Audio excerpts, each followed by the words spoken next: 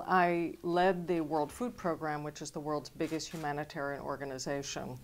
And in that, we get food to people who really would die without an intervention on the front lines of war or disaster. Mm-hmm. So the only times I've ever been to the Philippines here was during really disasters Disaster. or you know, I spent most of my time in places like Somalia and Afghanistan and places like that. And then at the World Economic Forum, I was able to go from the poorest of the poor, mm-hmm. the bottom 10% of the bottom billion, to really the top 1% of the, the most richest and powerful and the decision makers. Mm-hmm. And to me, this conversation between those who have nothing and those who have everything and how to connect it is really the vital conversation of our time. Mm-hmm. So for me, the link between the two made sense. And I was able, during my trips to Davos before joining it, to really link up with the world's top decision makers and CEOs to try to make a connection for those who were most suffering in the world. And we were able to raise a lot of money and to do a lot of great things to really help uh, people that needed an intervention. Yeah. Is uh, a lot of people, a, lot of people who who are sort of who criticize events like APEC, um, their main their main argument is that there's such a disconnect between mm-hmm. the world's decision makers and the world's economic elite, and um, and the, the people who they say they're serving. Mm-hmm. Um, from your experience, having seen both sides, is does that ring true, or is that a misconception? Well, some of the criticism is really true, and I'm mm. going to get to that.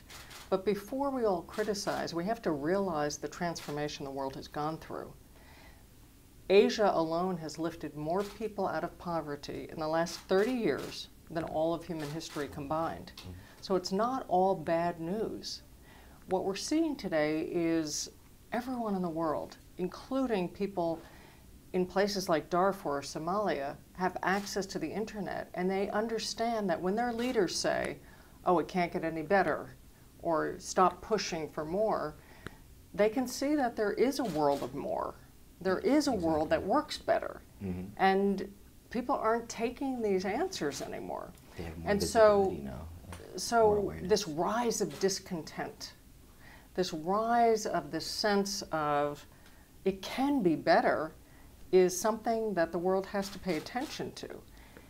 And if summits like this here at um, APEC or Davos or these big meetings in the world are disconnected from that yearning of humanity, mm-hmm. I think they'll become irrelevant.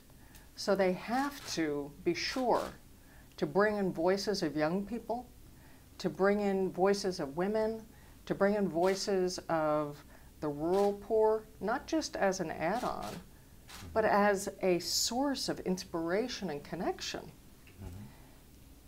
I've been on the front lines of the world's poorest people, and I've never met anyone who wants a handout or government to solve their problems. Mm-hmm. They want to be able to take control of their own lives. They want to be empowered, I guess. And be empowered. Mm-hmm. And so much of what they deal with is dysfunctionality.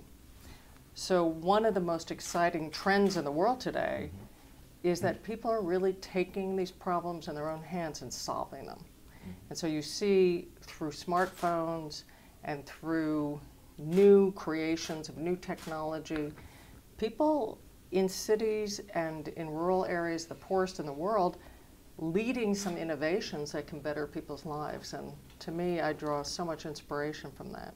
Mm-hmm. Um, would you say then that like, uh, how, how does uh, how good of a job has um, organizations or meetings like APEC and the World Economic Forum um, and, and Davos and how how have they been able to sort of take that innovation and, te- and technology and do you think they've leveraged it well or do you think that there's still room for improvement? That disconnect is you know is very serious but I see some efforts to try to address that.